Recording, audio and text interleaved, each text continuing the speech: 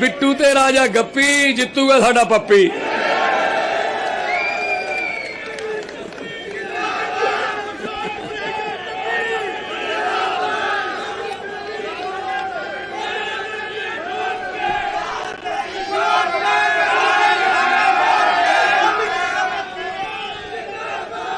ਉਹ ਵੀਰੋ, ਉਹ 20 ਦਿਨ ਤਾਂ ਜੋ ਲੈਣ ਦੋ, ਹਜੇ 20 ਦਿਨ ਪਏ ਨੇ ਉਹਨਾਂ ਨੂੰ।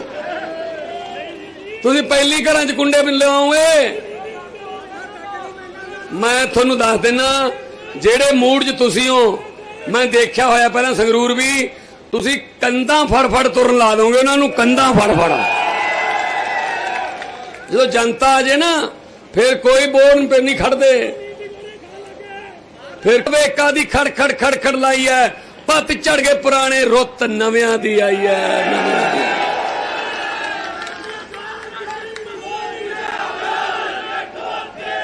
ਇੱਕ। ਵਾਹ ਜੀ ਵਾਹ ਵਾਹ ਜੀ ਵਾਹ। ਬਿੱਟੂ ਨੂੰ ਤਾਂ ਇਹ ਨਹੀਂ ਪਤਾ ਮੈਂ ਕਿਹੜੀ ਪਾਰਟੀ ਵੱਲੋਂ ਕਾਗਜ਼ ਭਰਨੇ ਨੇ ਹਜੇ।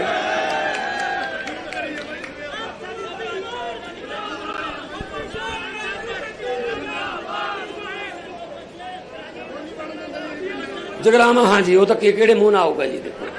ਸੋ ਵੀਰੋ, ਏਕਾ ਰੱਖਿਓ ਤੇ ਮੈਨੂੰ ਤੁਸੀਂ ਥੋੜਾ ਜਿਹਾ ਮੇਰਾ ਹੌਸਲਾ ਵਧਾ ਦਿਓ ਕਿ ਤੁਸੀਂ ਨਾਲ ਹੋ, ਕਿਉਂਕਿ ਜੇ ਜ਼ਰੂਰੀ ਨਹੀਂ ਹੈਗਾ।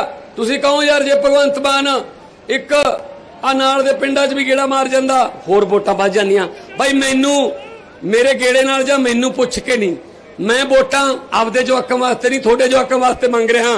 Subscribe to One India channel and never miss an update.